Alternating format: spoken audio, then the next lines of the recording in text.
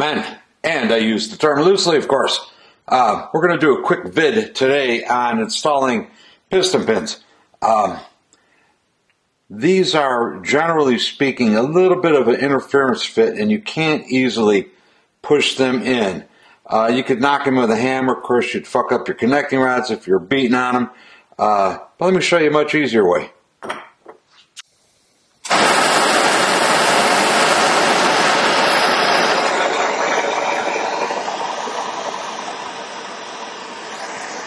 Heat them up a little bit. Doesn't take a lot.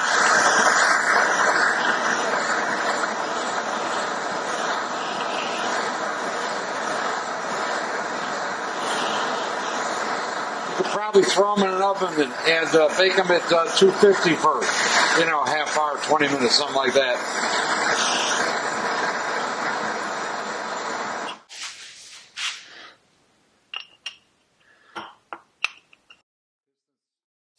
Piston pin slides right in.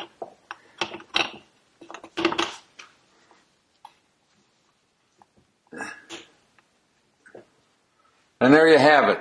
Easiest way to do it. You don't have to beat on the pin to shove it in. It prevents damage to the bearings in your uh, connecting rods. That's the way to do it. Okay, those uh, pistons uh, you saw me fitting the pins in went into this motor right here in front of you. Uh, I didn't video a lot out of this motor. The thing with the piston pins in the previous video about the uh, flywheels uh, came out of this engine. You see a lot of videos of people building Sportster engines on the internet, but what you don't see a lot of is people building these on the internet. We got a 1955 KHK and I teased this in one of my earlier videos. This is on the block next. I've had a very busy spring. This one's up on the bench, and this one, I really consider this kind of a privilege to be able to work on these things. Uh, very rare, 1955. Not a lot of these around. Uh, they didn't make many of them in the first place. Uh, really looking forward to getting into this one. Uh, I will do a series of videos on uh, disassembly, reassembly of this thing here. It's not a hell of a lot different than a Sportster, but you know, it is a flathead, so it's got some different things. Uh, anyway, really looking forward to getting into this one. Uh, it's the next one on the bench.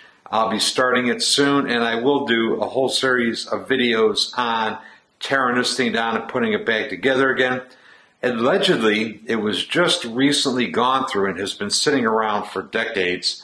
Uh, supposedly, uh, it should only need a kind of a cosmetic uh, freshening up. Uh, we'll see. Stay tuned. There will be more on this motor. I am out of here. Until next time, uh, thanks for watching. Please subscribe.